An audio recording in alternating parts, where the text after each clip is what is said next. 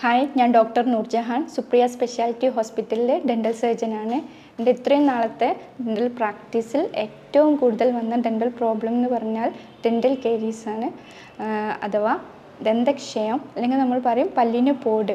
എങ്ങനെയാണ് ഈ ദന്തക്ഷയം ഉണ്ടാകുന്നത്? നമ്മുടെ എല്ലാവരുടെ വായിലും മൈക്രോ ഓർഗാനിസംസ് ഉണ്ട്. അതായത് സൂക്ഷ്മാണുക്കൾ.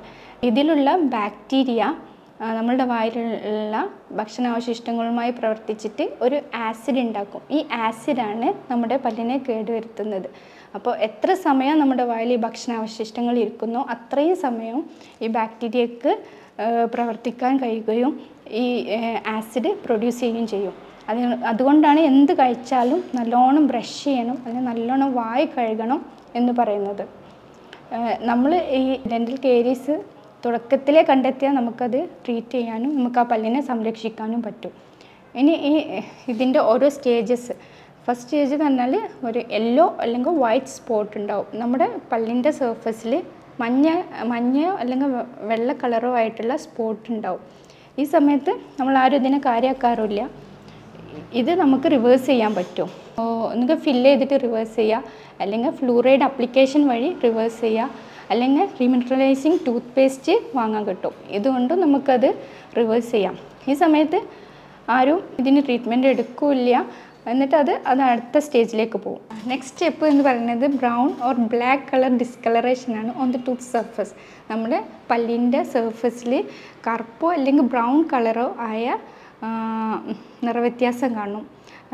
ഈ സമയത്ത് നമുക്കൊരു പ്രോപ്പർ ഡെന്റൽ ചെക്കപ്പ് ചെയ്യുകയാണെങ്കിൽ നമുക്ക് ഇതിനെ റിവേഴ്സ് ചെയ്യാൻ പറ്റും. അത് ഫില്ലിങ്ങിലൂടെ മാറ്റി ആ പല്ലിനെ നമുക്ക് സംരക്ഷിക്കാൻ കഴിയും. സാധാരണഗതിയിൽ ഒരു പല്ലിന് പോഡ് എന്നുണ്ടെങ്കിൽ ആ ഭാഗത്ത് എന്തായാലും ഫുഡ് ലോഡ്ജ്മെന്റ് ഉണ്ടാവും. ഭക്ഷണം അടി ഭക്ഷണം കുടുങ്ങിയിരിക്കും. അപ്പോൾ നമ്മളങ്ങനെ ഭക്ഷണം കുടുങ്ങിയിരിക്കുന്നത് നമുക്ക് ഫീൽ ചെയ്യുകയാണെങ്കിൽ നമ്മളൊരു ഡെന്റിസ്റ്റിനെ കാണിച്ചിട്ട് ചെക്കപ്പ് ചെയ്യാം. അപ്പോൾ നമുക്ക് എന്തെങ്കിലും കേടുണ്ടെങ്കിൽ അതിനെ ഫില്ല് ചെയ്തിട്ട് നമുക്ക് മാറ്റാൻ പറ്റും. ഈ സമയത്ത് നമ്മൾ കാണിച്ചില്ലാണ്ടെങ്കിൽ അത് അതിന്റെ നെക്സ്റ്റ് സ്റ്റേജിലേക്ക് പോകും. നെക്സ്റ്റ് സ്റ്റേജ് എന്ന് പറഞ്ഞാൽ സെൻസിറ്റിവിറ്റി വരും. നമ്മുടെ പല്ലിന് മൂന്ന് ലെയർ ഉണ്ട്. ഇനാമൽ ഡെന്റി പൾപ്പ് ഇതിൽ ഈ കേട് ഇനാമൽ കഴിഞ്ഞ് ഡെന്റിനിലെത്തുമ്പോഴാണ് നമുക്ക് പുളിപ്പ് അനുഭവപ്പെടുന്നത്. ഈ സമയത്ത് നമുക്ക് ഒരു ഡെന്റിസ്റ്റിനെ കാണിച്ചാൽ നമുക്കത് ഫില്ല് ചെയ്തിട്ട് നമുക്ക് ആ ടൂത്തിനെ സംരക്ഷിക്കാൻ പറ്റും. ചില ആളുകൾ തെറ്റായ ട്രീറ്റ്മെന്റ് രീതി ഫോളോ ചെയ്യും. പുളി പല്ലിന് പുളിപ്പ് വരുമ്പോൾ അവർ ഡീസെൻസിറ്റൈസിങ് ടൂത്ത് പേസ്റ്റ് യൂസ് ചെയ്യും. എന്നിട്ട് അവർ വെയിറ്റ് ചെയ്തുകൊണ്ടിരിക്കും ഇങ്ങനെ വെയിറ്റ് ചെയ്യുന്ന സമയത്ത് ഈ കേട് ഇത് പല്ലിന്റെ അടുത്ത ലെയറിലേക്ക് പോകും. അതായത് പൾപ്പിലേക്ക് പോകും. പൾപ്പ് എന്ന് പറഞ്ഞാൽ നമ്മളെ പല്ലിന്റെ മജ്ജയാണ് അവിടെ അത് സോഫ്റ്റാണ് അവിടെയാണ് നമ്മൾ ഞരമ്പ് രക്തക്കുഴലൊക്കെ ഉള്ള ഭാഗം. ഈ ഭാഗത്ത് കേടെത്തിയാൽ നമുക്ക് അത് ഫില്ലിങ്ങിലൂടെ മാറ്റാൻ കഴിയില്ല. അപ്പോഴാണ് നമുക്ക് പെയിനൊക്കെ വരുന്നത്. ഈ ഈ സ്റ്റേജിലാണ് നമുക്ക് പെയിൻ വരുന്നത്. അപ്പോൾ നമുക്ക് ഇതിന് റൂട്ട് കനാൽ ട്രീറ്റ്മെന്റേ സാധ്യമാവുള്ളൂ. അധികം ആളുകളും ഡെന്റിസ്റ്റിന്റെ അടുത്ത് വരാറ് ഈ പെയിൻ ആവുമ്പോഴാണ്. ഒരു രോഗം വന്ന് ചികിത്സിക്കുന്നതിനെക്കാട്ടി നല്ലത് രോഗം വരാതെ നോക്കുന്നതാണല്ലോ prevention is better than cure എന്നാണല്ലോ. അപ്പോൾ നമുക്ക് എങ്ങനെ ഈ പല്ലിൽ കേട് വരുന്നത്? പ്രിവെന്റ് ചെയ്യാം തടയാം എന്ന് നോക്കാം. നമ്മൾ റെഗുലറായിട്ട് ഡെന്റൽ ചെക്കപ്പ് ചെയ്യുക. ഓരോ ആറുമാസം കൂടുമ്പോഴും ഡെന്റൽ ചെക്കപ്പ് ചെയ്യുക. അതുപോലെ ഡെന്റിസ്റ്റ് പറയുന്ന ഓറൽ ഹൈജീൻ ഇൻസ്ട്രക്ഷൻസ് ഒക്കെ ഫോളോ ചെയ്യുക. രണ്ട് നേരം ബ്രഷ് ചെയ്യുക ഡെന്റൽ ഫ്ലോസ് യൂസ് ചെയ്യുക. അതുപോലെ തന്നെ ഹെൽത്തി ഡയറ്റ് ഹാബിറ്റ് ഫോളോ ചെയ്യുക.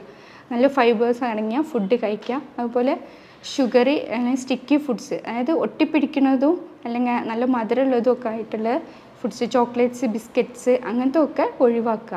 അതുപോലെ ഫ്രീക്വന്റ് സ്നാക്ക് ഇടയ്ക്കിടയ്ക്ക് കഴിക്കുന്ന ഭക്ഷണം കഴിക്കുന്നത് അതൊക്കെ നമ്മൾ പല്ലിനെ നല്ല സാരമായി ബാധിക്കും.